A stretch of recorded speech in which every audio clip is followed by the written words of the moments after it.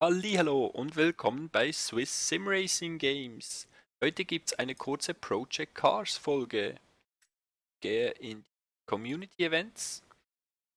Bin hier gestern das Thanksgiving Derby gefahren mit dem Cadillac GT3 auf der Road America Strecke.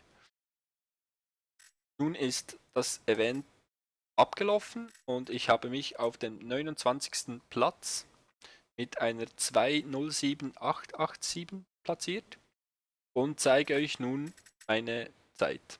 Viel Spaß!